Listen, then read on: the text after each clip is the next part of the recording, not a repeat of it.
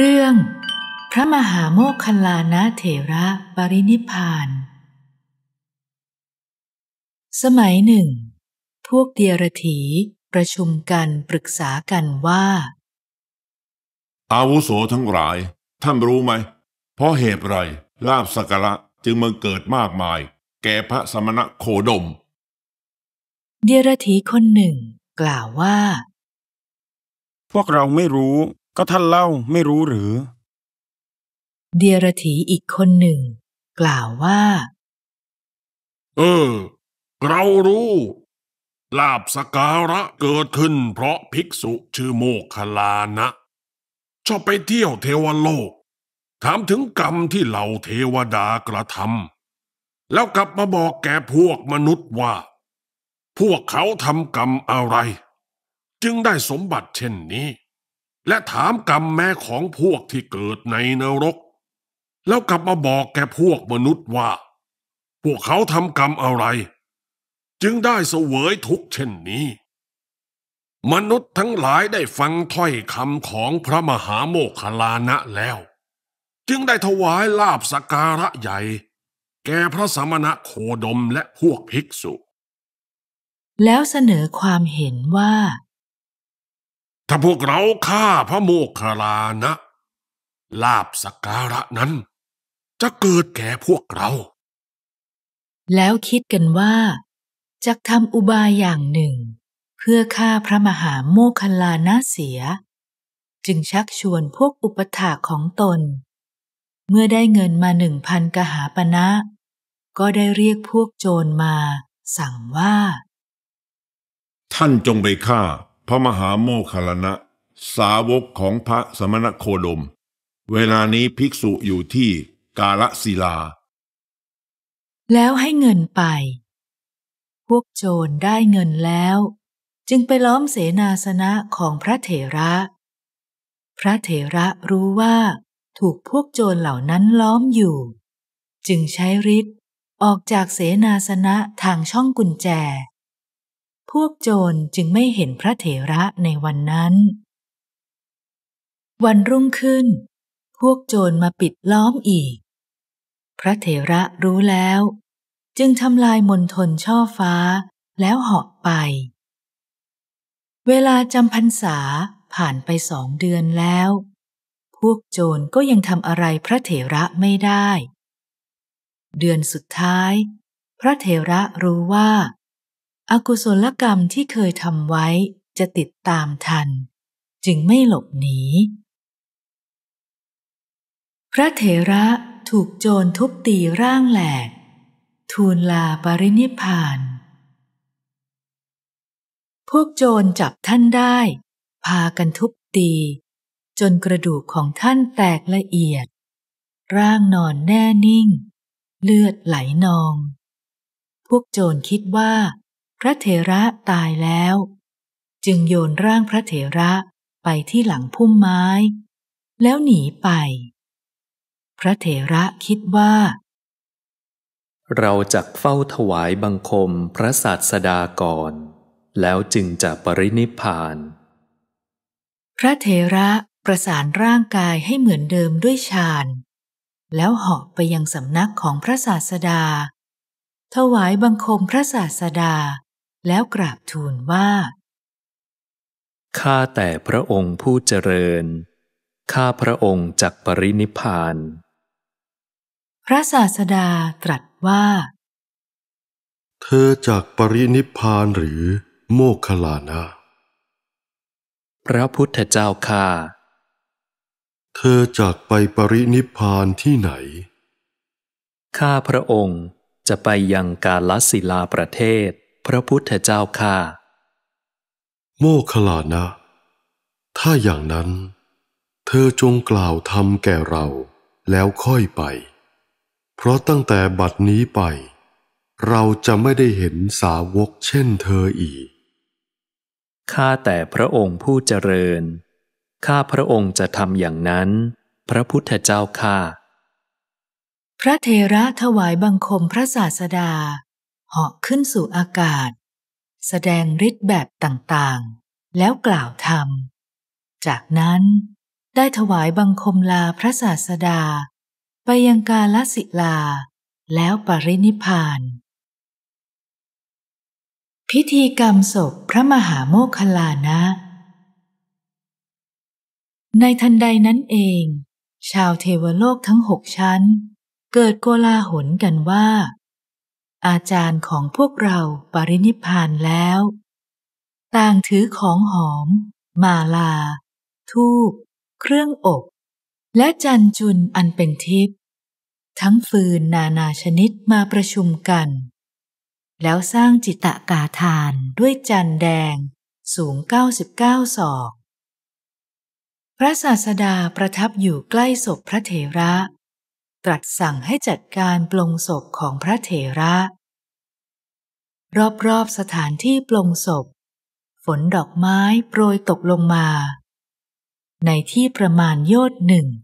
ได้มีมนุษย์อยู่ระหว่างเทวดา เทวดาอยู่ระหว่างมนุษย์ ถัดเทวดาโดยลำดับ พวกยักษ์ยืนอยู่ ถัดพวกยักษ์มาก็เป็นพวกคนทัน ถัดจากพวกคนทันมาเป็นพวกนาค ถัดจากพวกนาคมาเป็นพวกครุฑถัดจากพวกครุฑมาเป็นพวกกินนารา ถัดจากพวกกินนารามาเป็นพวกกินนอน ถัดจากพวกกินนอนมาก็เป็นฉัด ถัดจากฉัดออกมา เป็นสุวรรณจามอนถัดจากสุวรรณจามอนออกมา เป็นธงชัย ถัดจากธงชัยออกมา เป็นธงแผ่นผ้า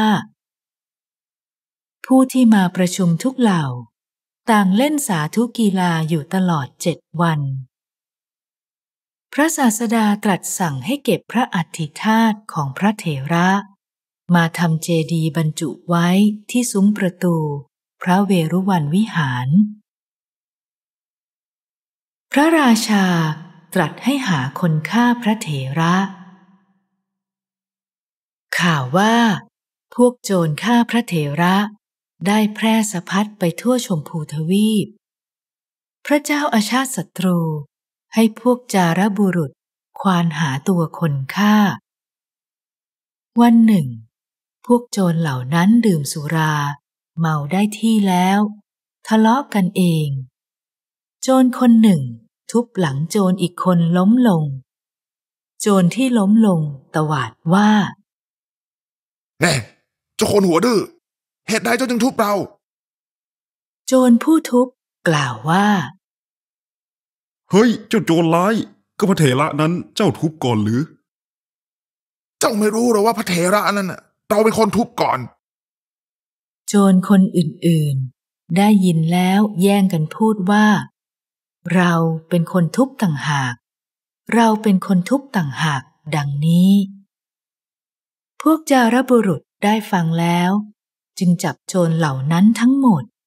แล้วกราบทูลพระราชาให้ทรงทราบ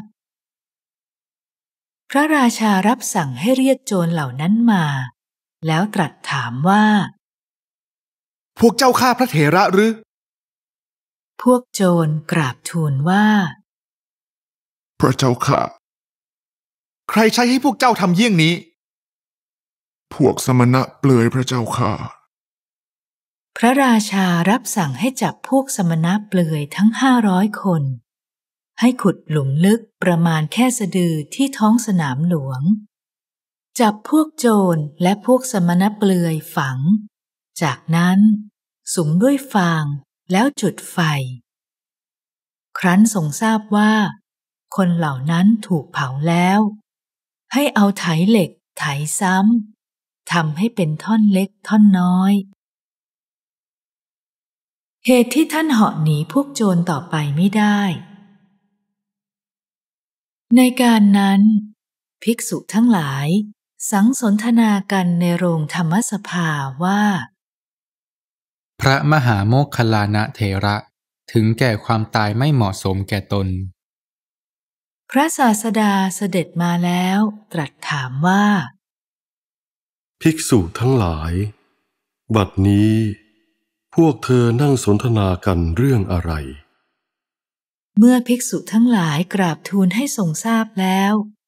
จึงตรัสว่า ภิกษุทั้งหลาย ความตายของโมคคัลลานะ ไม่เหมาะสมแก่อัตภาพนี้เท่านั้น แต่เหมาะสมแท้แก่กรรมที่โมคคัลลานะนั้น ทำไว้ในชาติก่อน ภิกษุทั้งหลายทูลถามว่า ข้าแต่พระองค์ผู้เจริญ ก็บุรพกรรมของพระเทระนั้นเป็นอย่างไรพระพุทธเจ้าข้าพระศาสดา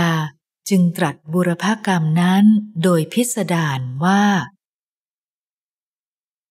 บุรพกรรมของพระมหาโมคคลลานเถระ ในอดีตการ มีกุลบุตรคนหนึ่งในนครพาราณสี ปฏิบัติดูแลบิดามารดาตาบอด ด้วยการหุงหาอาหารด้วยตนเอง ทีนั้น บิดามารดาของเขากล่าวว่า ลูกเอ๋ย เจ้าผู้เดียว กระทำการงานทั้งในบ้านและในป่าลำบากมาก เราจะนำนางกุมาริกาคนหนึ่งมาให้เจ้า กุลบุตรห้ามว่า ข้าแต่คุณพ่อและคุณแม่ ท่านทั้งสองยังมีชีวิตอยู่ตราบใด ลูกจักบำรุงคุณพ่อและคุณแม่ด้วยมือของตนเองตราบนั้น บิดามารดาก็ยังอ้อนวอนแล้วอ้อนวอนเล่า แล้วนำนางกุมาริกามาให้ กุมาริกานั้น ดูแลบิดามารดาของเขาได้สองสามวันเท่านั้น ก็ไม่ปรารถนาจะเห็นคนทั้งสองนั้น จึงกล่าวโทษว่า ดิฉันไม่ต้องการอยู่ในที่เดียวกันกับบิดามารดาของท่าน กุลบุตรนั้นไม่เชื่อถ้อยคำของนาง ในเวลาเขาออกไปข้างนอก นางจึงเอาชิ้นเปลือกปอและฟองข้าวยาคูมาโรยในที่ต่างๆ เมื่อกุลบุตรนั้นกลับมาแล้ว จึงถามว่า นี้อะไรกัน นางจึงกล่าวว่า นี่เป็นการกระทำของคนทั้งแก่ทั้งบอดเหล่านี้ พวกเขาเที่ยวทำให้สกปรกไปทั่วเรือน ฉันไม่อาจอยู่ในที่เดียวกันกับคนเหล่านี้ เมื่อนางกล่าวอยู่บ่อยๆ อย่างนี้ สัตว์ผู้ได้บำเพ็ญบารมีมาแล้ว ก็แตกกับบิดามารดา กุลบุตรนั้นจึงกล่าวว่า ช่างเถอะ เราจะจัดการกับคนทั้งสองเอง เขาให้บิดามารดาบริโภคอาหาร แล้วกล่าวว่าข้าแต่คุณพ่อคุณแม่ พวกญาติของท่านทั้งสองที่ในหมู่บ้านโน้น ต้องการให้ท่านไปเยี่ยม พวกเราจะไปกัน ดังนี้แล้ว ให้บิดามารดาขึ้นเกวียนน้อยพาไป เมื่อถึงท่ามกลางดง จึงกล่าวว่า ข้าแต่พ่อ ท่านจงถือเชือกบังคับโค พวกโคจะเดินไปตามทาง ในที่นี้มีพวกโจรอยู่ ฉันจะลงเดิน แล้วให้บิดาถือเชือก ตนเองลงเดิน เขาได้ทำเสียงให้เหมือนว่าเป็นพวกโจรดักปล้น บิดามารดาได้ยินแต่เสียงคิดว่าโจร จึงร้องว่า พ่อพวกโจรมาแล้ว พวกเราเป็นคนแก่ พ่อจงรักษาตนเองเถิด บิดามารดาแม้จะร้องอยู่ เขาก็ทำเสียงโจร ทุบตีบิดามารดาจนตาย โยนศพทิ้งในดงแล้วกลับมา พระศาสดาครั้นตรัสบุรพกรรมนี้ของพระเถระแล้ว จึงตรัสว่า ดูกราภิกษุทั้งหลาย โมคลานะกระทำกรรมมีประมาณเท่านี้ ไม่อยู่ในนรกหลายแสนปี ด้วยผลวิบากที่เหลือเพียงนั้น จึงเป็นผู้แหลกละเอียดเพราะทุบอย่างนั้นแหละ แล้วถึงความตายสิ้นร้อยอัตภาพ โมคลานะ ได้ความตายอันสมควรแก่กรรมของตนอย่างนี้ทีเดียว ฝ่ายพวกเดียรถีห้าร้อยกับโจรห้าร้อยประทุษร้ายบุตรของเราผู้ไม่ประทุษร้าย ก็ได้ความตายอันสมควรเหมือนกัน เพราะผู้ประทุษร้ายในคนผู้ไม่ประทุษร้าย ย่อมถึงความพินาศเพราะเหตุสิบประการนั่นเทียว เมื่อจะทรงสืบอนุสนที่แสดงธรรม จึงได้ตรัสพระคาถาเหล่านี้ว่า บุคคลใดประทุษร้ายคนผู้ไม่ประทุษร้าย ผู้ไม่มีอาจยา ด้วยอาจยา บุคคลนั้นย่อมพลันเข้าถึงฐานะสิบอย่าง อย่างใดอย่างหนึ่ง คือ ย่อมถึงเวทนาอันหยาบหนึ่ง ความเสื่อมหนึ่งความแตกทำลายแห่งสรีระหนึ่งอาพาธหนักหนึ่งความฟุ้งซ่านแห่งจิตหนึ่งความขัดข้องแต่พระราชาหนึ่งการกล่าวตู่อย่างร้ายแรงหนึ่งความสิ้นญาติหนึ่งความผุพังแห่งโภคทรัพย์หนึ่งอีกอย่างหนึ่ง ไฟผู้ชำระย่อมไม่เรือนของเขาหนึ่งเพราะกายแตกทำลาย คนปัญญาสามนั้น ย่อมเข้าถึงนรก เรื่อง พระมหาโมคคลลานเถระปรินิพพาน จบ